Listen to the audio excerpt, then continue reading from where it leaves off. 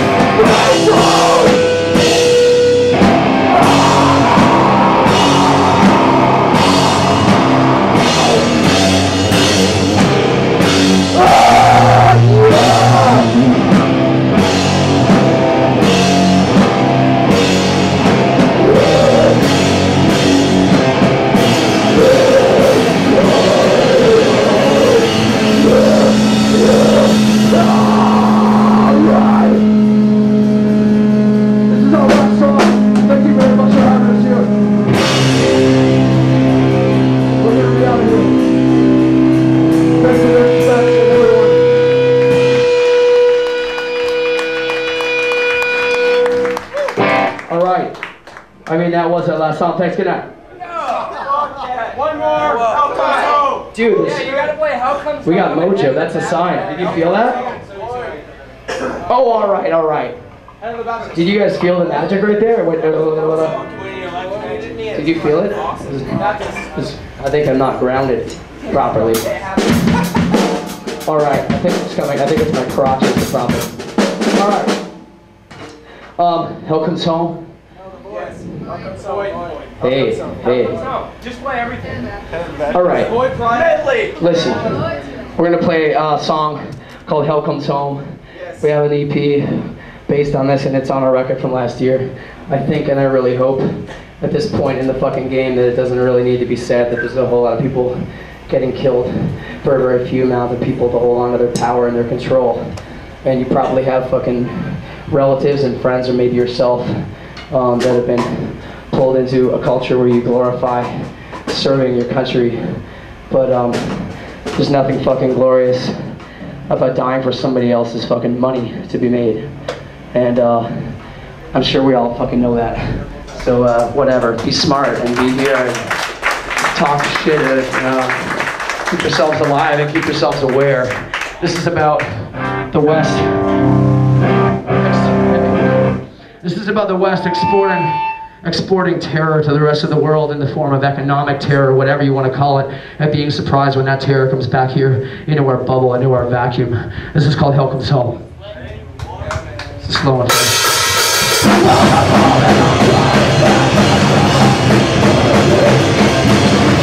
Thank you.